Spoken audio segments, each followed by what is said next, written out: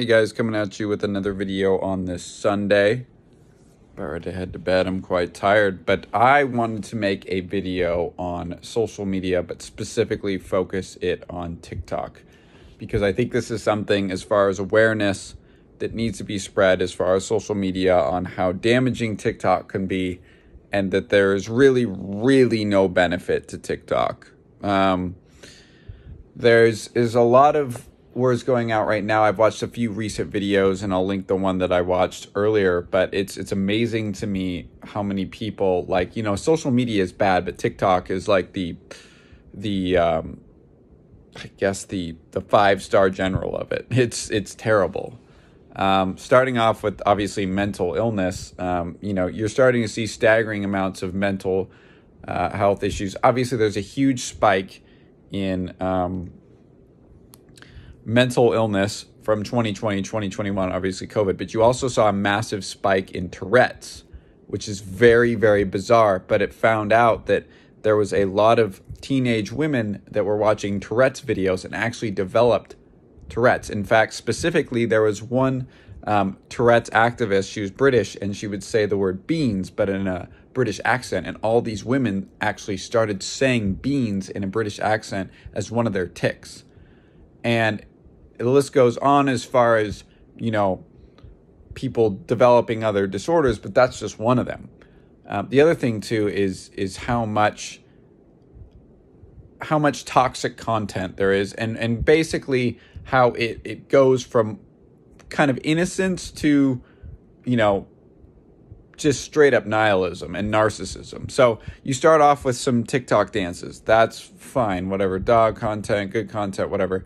But then a lot of this content that I see, at least in, in what was promoted when I briefly had TikTok, was just a bunch of girls shaking their ass. In fact, not only that, but looking like underage girls shaking their ass that are in high school, maybe even middle school. So the content that's promoted is a bunch of 13 to 18 year olds and like it's just absolutely disgusting and it's constant the other half are people promoting mental health and there's two sides of this coin where it's glorified this is the same thing with body positivity this stuff is glorified and it's you know people sharing with it it's the same kind of thing that people do watching my videos except for my videos are are anti i'm not trying to um you know uh, promote any of that. I'm not promoting any of it. It's a lifestyle that uh, that no one should be a part of. You know, glorifying that and being accepting of it. No, I, I'm not accepting of mental illness. I'm not. I'm here to end that. I'm here to get people out of that. I'm here to steer people towards the right direction. TikTok is not doing that.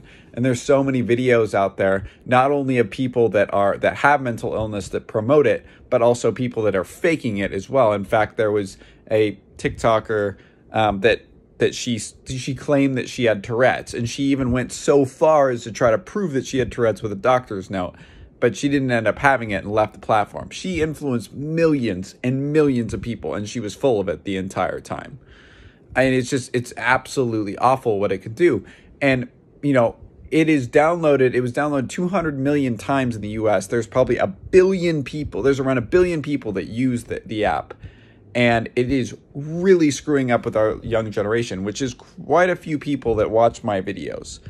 Um, I am not a proponent of social media. I use it very infrequently. I'm on Instagram a little bit, a little bit of Snapchat. I could use it less, but I would. Ne- I I briefly used TikTok for maybe like a day or so to get a certain video, and then I immediately deleted it.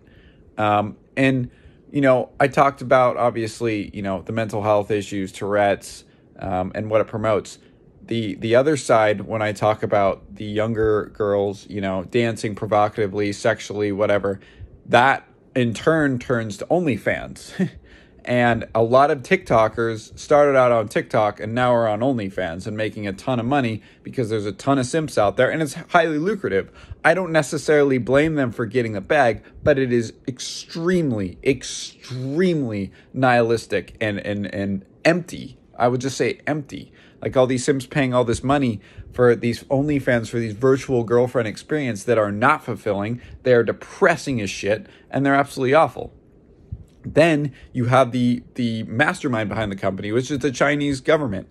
It's the Chinese National Party. It's it's literally of the dictatorship. And if you look at Chinese TikTok, it's completely the opposite. It's uplifting, it's motivating, it shows hardworking Chinese, both men and women, just killing it um, and being uplifting. Whereas, you know, you see it in the West and it's like this nihilistic, ass shaking, uh, mental health promoting and i'm not even saying mental like i'm saying promoting mental health like it's okay to have i have this this and this and it's like you you lose your self responsibility and self control um, and it takes only two hours to get addicted to that that scrolling sensation you get from tiktok it's creating people that are mindless and and who is to blame they're 13 to 17 year old in fact 16% of toddlers a study came out from the uk uh, are toddlers on the app. So two to four year olds, 16%.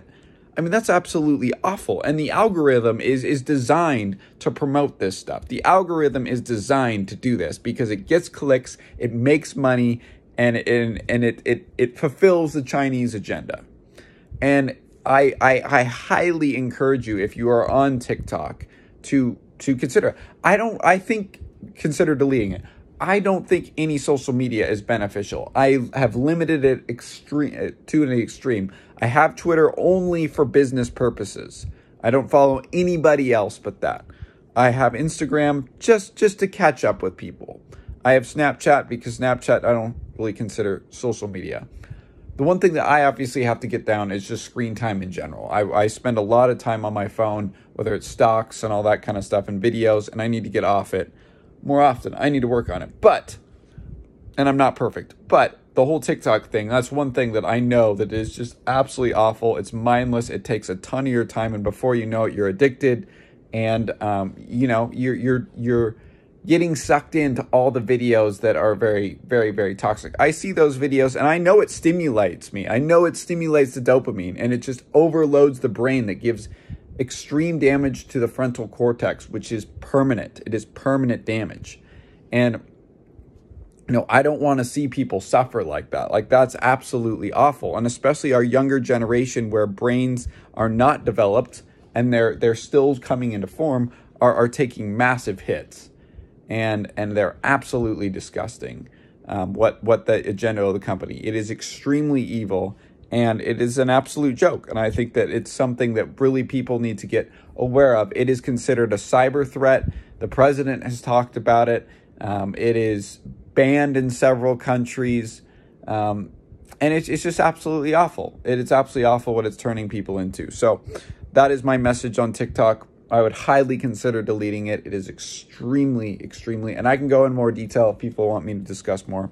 But um, I think that's one big culprit, and a lot of people on my channel are in that age bracket. So I, that's my message to you on TikTok. Hope you guys have a great Sunday. Peace.